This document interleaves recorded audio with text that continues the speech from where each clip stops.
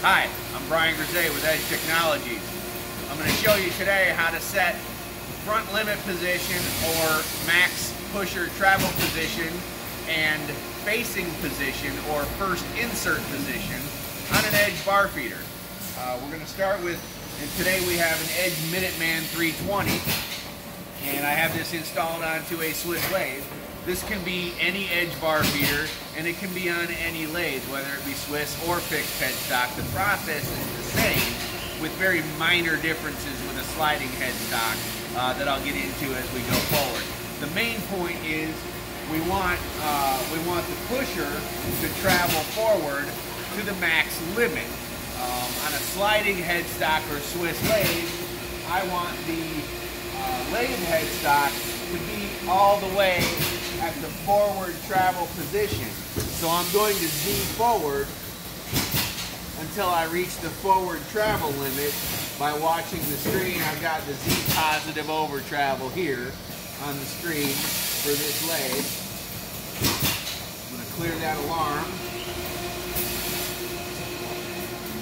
And then I'm going to jog my pusher forward into the main spindle of the lathe.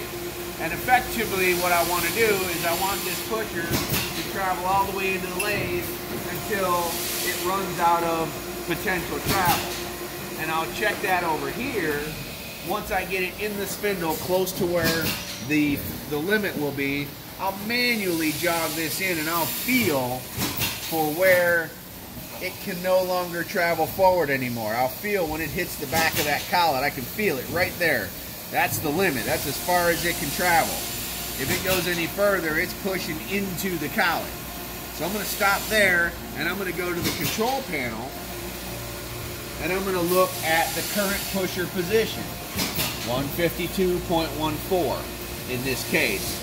I'm going to round that down slightly. Typically I'll round that down half an inch roughly. I'd probably call this 151.5 and I'll set that value into the front limit or the max travel position on this bar feeder and, and the parameter location will differ slightly um, based on the, the machine that we're working on but that's how we calculate the value.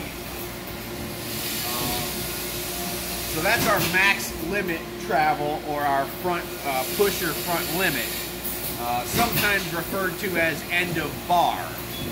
Um, but end of bar is not actually a position, end of bar is a signal that we send based on the front limit position and the relationship of the part length. Um, but sometimes it's referred to as end of bar. Now to set the first insert position or facing position, that's going to be a measurement from the measuring flag and if you look inside of here, you can see the front bar measuring flag is right here on this machine. We're going to find that on your machine and take a measurement from that measuring flag extending to roughly in line with the cutoff tool in the lathe. Okay, the cutoff tool in this lathe is roughly right about here. So we're going to take a measurement from that measuring flag to that cutoff tool, and in this case, I've got a measurement of about 55 inches. Okay, I'm going to take that measurement of 55 inches, and I'm going to enter it into the control in, in the parameter for facing position or first insert position. Um, and that value is going to be a pretty rough estimate. Uh, generally, what I'll do is I'll rough it in, and then I'll actually load a bar and see where the bar positions relative to the cutoff tool, um, and then make a slight adjustment, slight modification as necessary. The only major exception to that is on a Swiss uh, Swiss style machine with guide bushing installed, we don't want to feed the bar on bar load through the guide bushing.